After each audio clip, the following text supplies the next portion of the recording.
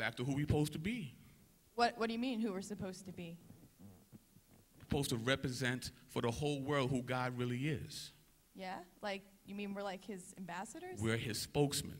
And you, you're definitely an ambassador.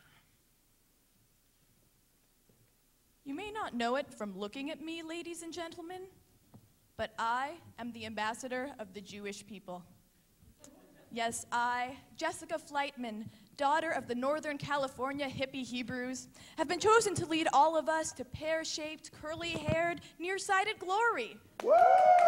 Thank you, thank you, thank you. No need to applause, ladies and gentlemen. I accept my charge as ambassador of the Jewish people as I accept all things, with grace and humility. I wasn't always aware of my unique destiny as ambassador of the Jewish people. In fact, when I was young, I thought I was normal.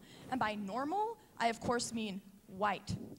To think back on it now, little Jessica skipping off to school with her Beauty and the Beast lunchbox, thinking she's Anglo. Adorable. But I soon learned that white didn't necessarily only refer to skin color. I wasn't white, I was Jewish.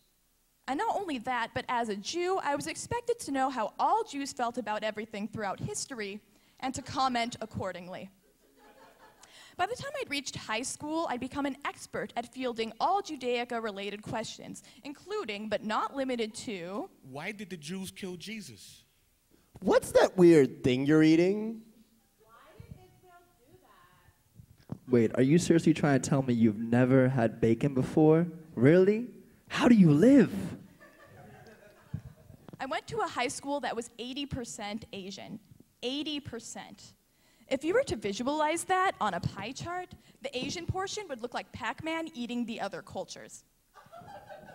My group of friends was pretty much the only ethnically diverse group on campus, and by that I mean there were a couple of people in it who were not of Asian descent. That may not sound that diverse to you, but trust me, based on how segregated my high school was, we were practically the United Nations. My friends saw past race and religion to the deeper bond we all shared. Deep down, we were all huge nerds. With them, I wasn't just the Jewish kid, I could be the artsy weirdo.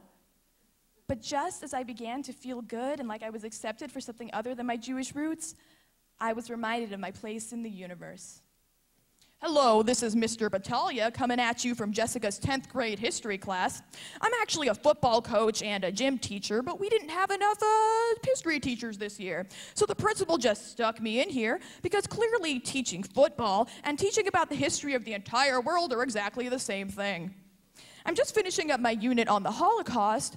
Jessica, do you have anything you'd like to add? How does it make you feel to learn about the Holocaust?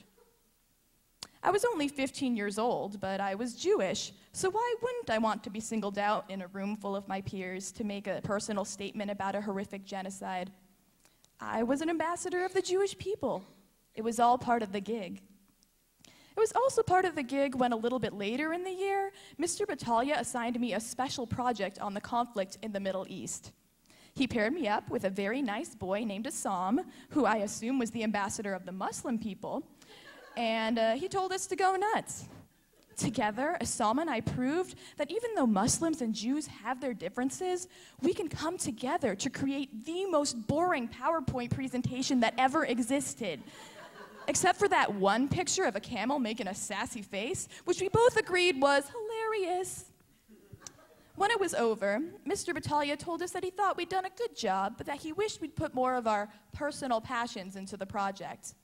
You could have done more, he said.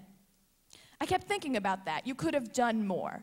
Did he mean in terms of the presentation, like more sound effects, more animation? You could have done more. He left it to two 15 year old kids to provide an entire class's background on the conflict in the Middle East. He'd paired up two kids who he assumed would have opposing loyalties based on their religions, stuck them together, and when they didn't fight or regurgitate tired opinions, but actually created a pretty informative presentation based on facts, we were supposed to have done more? Had he wanted us to fight? Had he counted on it? Or maybe I had it all wrong. Maybe he didn't want us to fight. Maybe he thought that by doing this project, we'd realize that all this fighting was silly, that Assam was my brother and I was his sister, and we'd hold hands and skip off into the sunset, and everyone in the Middle East would look at us and go, wow, if they can do it, why can't we? Is that what Mr. Battaglia meant by we could have done more? Well, whatever it was, we'd clearly failed in our roles as ambassadors of our people. And by failed, I mean we got a B plus. I told you I was a huge nerd. So fast forward several years, and I'm in Israel, the Holy Land itself. And let me tell you, it is a complete culture shock. It's weird enough living in New York where I'm surrounded by Jews on the daily, but being I've never been somewhere like New York where I, like excuse me, like Israel, where I have the luxury of representing just myself, where I'm not always one Bernie Madoff away from having to hold a press conference explaining that not all of us are like that. So I'm in Israel and I'm at the Western Wall and I'm actually thinking about my mom because she told me once that on her honeymoon to Israel, she went to the Western Wall and she stuck a prayer in the wall, and what she prayed for was a healthy child. She prayed for me. And let me tell you, it's strange to stand in the spot where someone once prayed for you to exist, but wonderful too. And my sister, she's on this trip with me, and together we both reach up and we touch the wall. The wall my mother once touched, the wall my father touched on the other side because the wall is separated into two sections by gender. And I don't know it, but the boy I'll fall in love with, he's on the other side of the wall too, maybe where my father once stood. We'll have our first conversation on the way back to the hotel that night, but I don't know that yet. I'm just a